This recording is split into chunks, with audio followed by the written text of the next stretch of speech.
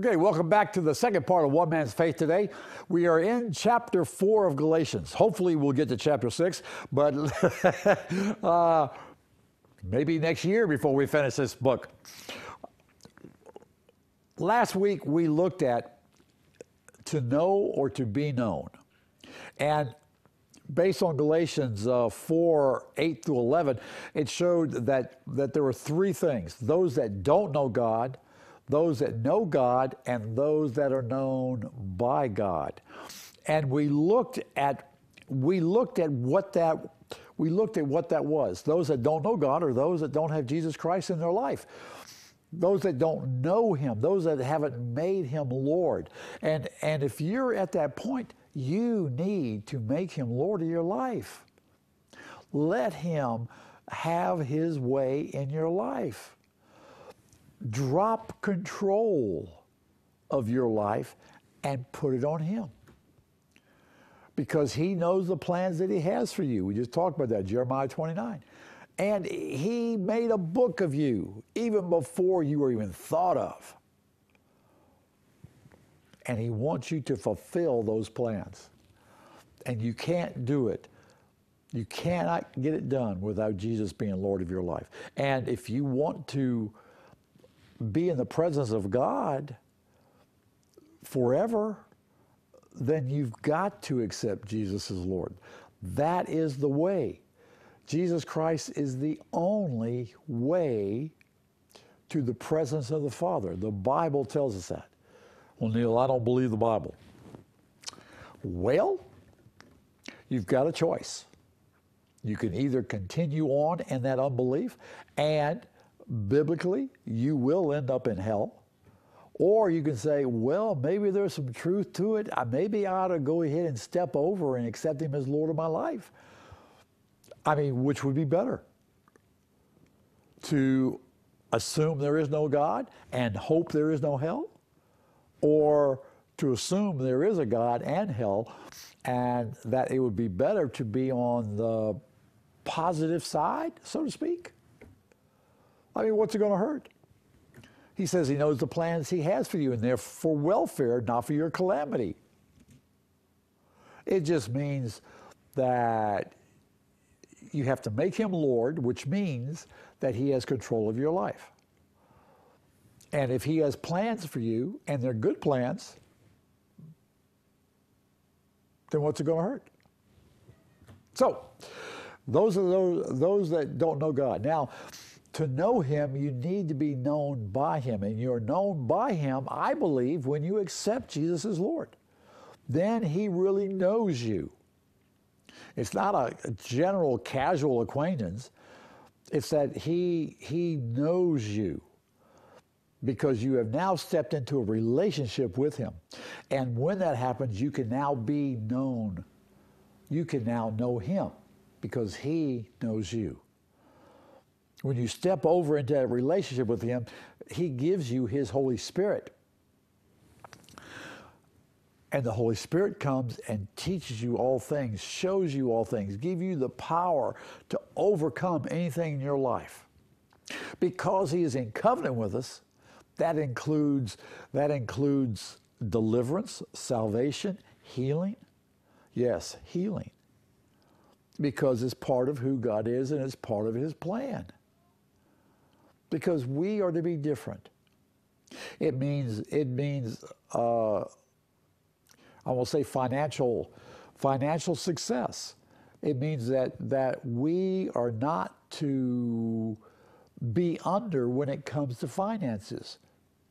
He tells us that freely, uh, it, uh, he says, give and it shall be given to you, pressed down, shaken over, packed down like you do. You know, I don't know if you've done a recipe or not that calls for brown sugar, but normally it calls for packed brown sugar. You got to pack it in there. Well, that's what, that's what he gives to us. He gives that to us. And he wants to pour it out upon you. I don't mean that we're to be billionaires. It doesn't hurt to be.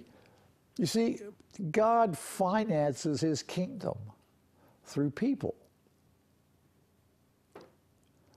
And if we can grab hold these concepts that are part of the covenant that he has with us, and listen, he doesn't break covenant. If we can, if we can transform this mind to be able to see, then we can we can walk with him. And he will lead us through. And so being known by him is dependent upon your accepting him. And when he when you are known by him, then you will learn to know him because he wants us to know him. He wants us to know who he is. Okay, um, and I wanted to leave you with uh, uh, uh, three three things here. Okay, come to know him. That's that's what we've been talking about. Knowing him is a relationship. It's not like reading reading the Bible and just say, okay, now I know him. No, knowing him is a relationship. It's walking with him. It's letting him lead and guide us. It's it's letting him know who we are. It's a conversation. It's it's it's it's more than a marriage. We need to learn to come and let him be Lord of your life. That that takes surrender. Okay? Because you are surrendering your life to him to let him be Lord of your life. The next thing is now that you have come to know him, in other words, you've accepted him as Lord, then learn to really know him. Okay? Learn who he is. He is not an ogre, he's not a dictator, he is a father. He is a loving father, better than your earthly father. Now, some of you may have had terrible fathers, and I'm sorry for that, but that is not God, and that is not indicative of who God is. God, the Bible says, God is love. And love, let me just give let's just read the definition. I mean you probably know it, but let's let's just let's just refresh our mind about what love is, and we can find that in 1 Corinthians chapter 13. It says, Love is patient, it is kind, it is not jealous. Love does not brag, it is not arrogant, it does not act unbecomingly, it does not seek its own, it is not provoked, it does not take into account a wrong suffered. It doesn't rejoice in unrighteousness, but rejoices in truth. It bears all things, believes all things, hopes all things, endures all things. There are 15 characteristics here of what love is. This is what we call agape love. It is, it is God's love. And the Bible says God is love. So if God is love, then we can substitute God here. We can say, God is patient. God is kind. God is not jealous. God does not brag. God is not arrogant. God does not act unbecomingly. God does not seek his own. God is not provoked. God does not take into a, a, account a wrong suffered. God does not rejoice in unrighteousness, but God rejoices in truth. God bears all things. God believes all things. God hopes all things. God endures all things. That's who God is.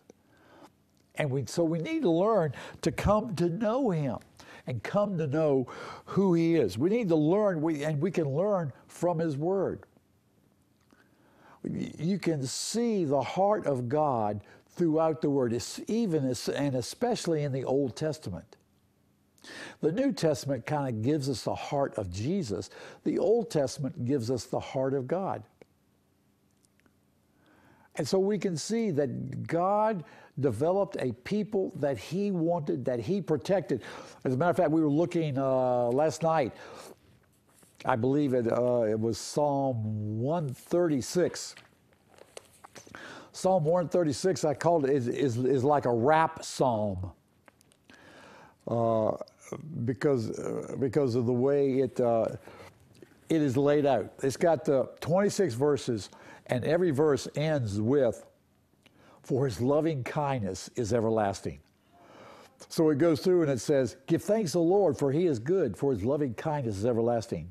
Give thanks to God of gods, for his loving kindness is everlasting. Give thanks to the Lord of Lords, for his loving kindness is everlasting. Every verse, his loving kindness is everlasting. It's trying to tell us something. This is loving kindness is associated with covenant. It's a special love, and it's the love that God has for us. And so we get to see, even in the original covenant, the, the old, what we call the Old Covenant or the Old Testament, we see who God is. He, he's, he's a God. Uh,